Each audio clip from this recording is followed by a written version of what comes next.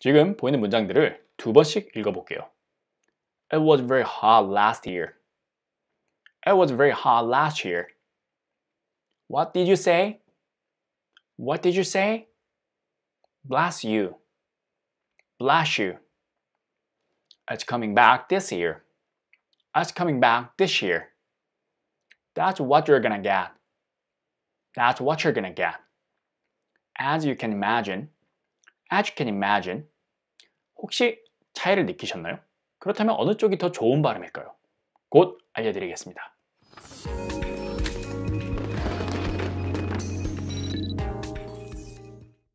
안녕하세요. 이주언어 연구소입니다. 오늘은 영어를 듣는 귀 축약형 편의 연장선으로요. gotcha란 단어에 대해서 다뤄볼까 합니다. 이 gotcha란 단어는 들어보신 분들도 처음 듣는 분들도 계실 텐데요. 원형은요. 이제 I've got you, 널 잡았다 이런 뜻인데요. 앞부분은 생략하고 뒤에 got you만 말하는 거죠. 그럼 왜 got you가요? gotcha라고 표기될까요? 제가 지난 축약형 편들에서 말씀드렸죠. 축약형은 실제로 발음나는 대로 표기하는 거다. 이 녀석도 같습니다. got you를요 발음나는 대로 표기한 거죠. 어, 사실 이 gotcha는 축약형으로 부르기에는 딱히 글자 수가 줄어든 것도 없습니다. 정말로 발음 나는 대로 표기했을 뿐이에요. 그리고 사실 이제 요새는 우리 한글에서도 이런 현상이 많이 일어나죠. 아무튼 그럼 왜 got you가 gotcha로 발음나느냐가 오늘의 주제입니다. 지난 영상을 보셨다면 아시겠지만 이 t, d 이 녀석들은 주변 환경에 아주 잘 휘둘리는 경향이 있죠. 그리고 오늘은 이 t와 d가 y 소리죠. 여 소리를 만나면 어떻게 변하는지에 대해서 다뤄보도록 하겠습니다. 먼저 지금 보이는 글자를 한번 읽어보세요. 한글이죠. 갸갸갸, 타타타, 듀듀듀, 튜튜튜. 확실히 발음하기 쉽지가 않죠. 예, 그 이유는요.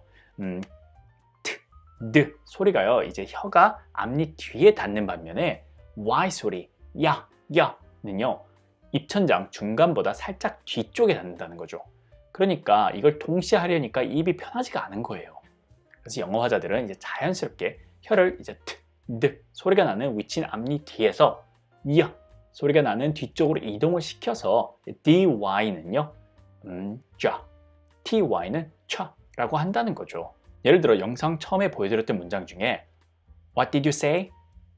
Did you가 did you 라고 발음해서요. What did you say? 라고 하는 게 더 편하고 자연스럽죠.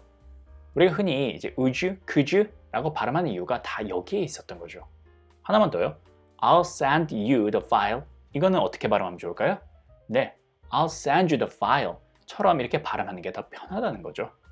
마찬가지로 다른 예문인 That's what you're gonna get 에서요. 역시 what you가 what you 라고 발음해서요. That's what you're gonna get 이라고 발음하는 게 더 편할 수도 있다는 거죠. 그리고 오늘 주제였던 got you는요. you가 강세가 없으니까 야금 처리돼서 야처럼 소리 나고요. 그리고 추가로 지금 설명드린 현상이 일어나니까 gotcha 라고 소리 나고 표기한다는 거죠.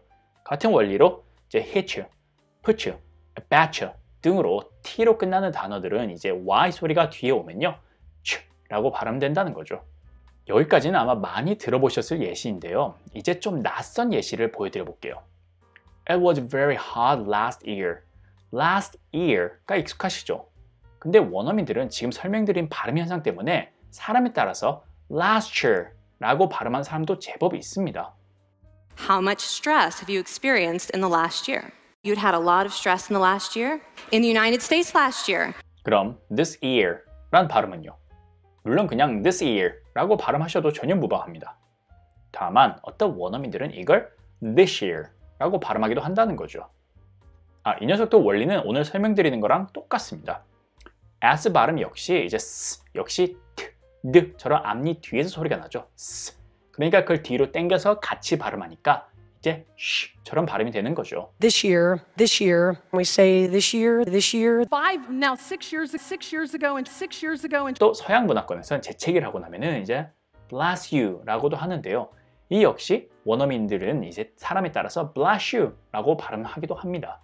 and may the Lord bless you, bless you. 마찬가지로 z 발음은 y 앞에서 ju처럼 발음되기도 하죠. 그래서 앞서 보여드린 as you can imagine에서도요.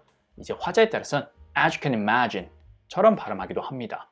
Uh, as you can imagine, as you can imagine, as you can imagine. 이제 영상 처음에 드렸던 질문인데요.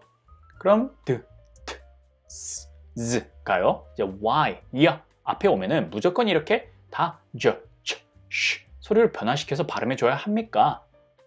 자, 이미 중간중간 답을 드렸는데요. 다시 확실히 말씀드리자면 아닙니다. 어느 쪽이든 상관없습니다. 이 원어민조차들도 원래 소리 그대로 발음하는 경우가 아주 많습니다.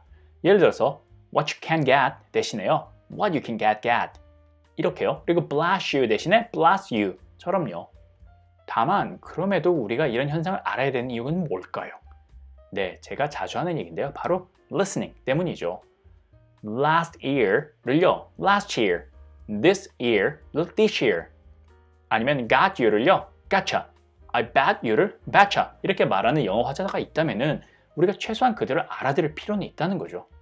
그런데 사실 이게 그렇게 새로운 개념도 아닌 게 우리는 이미 이 발음 현상을 단어 안에서 쓰고 있었습니다. 예를 들어서 graduate, actually, nature, mission, usual 등의 단어에서는 이미 t, d, s, z가요. 야 앞에서 j, ch, sh처럼 발음이 되고 있었던 거죠. 아, 참고로 이 녀석들은 옵션 아니고요. 반드시 이렇게 발음해줘야 합니다. 그럼 이와 매우 비슷한 현상 하나만 더 소개해 드리도록 해볼게요. 바로 이 단어들인데요. 사실 아주 잘 알려진 소리죠. 이 녀석들은 drive, dragon, train, tree 등 이제 드나 t가요. r과 같이 쓰이면은 j, ch로 발음 나는 건데요. 앞서 말씀드린 이와 같죠. t, d는요. 이제 발음 위치가 앞쪽인데 r, r, r 소리는요. 입천장 뒤쪽이다 보니까 drive, tree처럼 발음하려니까 이제 불편하고 어색해서 자연스럽게 느나 트를요 뒤로 당겨서 발음하다 보니까 저, 가 되는 거죠. 간단하게 제가 팁을 드리자면요. 입술을 약간 둥글게 저, 라고 먼저 발음하시고요. 그 다음에 입술이 둥근 상태를 유지해서요. R 발음인 ra 그래서 tra, dra 이렇게 가는 거죠. 그래서 방금 예시들은 다시 drive, dragon, train, tree와 같이 발음하시면 됩니다. 참고로 이 drive는요, 영어로는 I라는 모음이 하나만 있는 한음절이에요. 그러다 보니까 이제 드라이브, 한국어로는 사음절인데요. 그게 아니고 drive처럼요, 한 음절로 발음해 주셔야 됩니다. 이 한국어와 영어의 음절에 대한 얘기는 향후에 제가 짧게 따로 한번 다뤄볼게요. 혹시 연습이 필요하신 분들을 위해서 dr 혹은 tr로 시작한 단어들을 고정 댓글에 남겨놓을 테니까 인터넷 영어 사전들을 활용해서 발음을 비교하면서 한번 연습해 보세요. 자, 그럼 오늘 영상을 마치기 전에 오늘 배운 걸 복습하는 차원에서 저, 쳐, 슈 발음 의식해서 이 문장들을 먼저 한번 읽어보세요.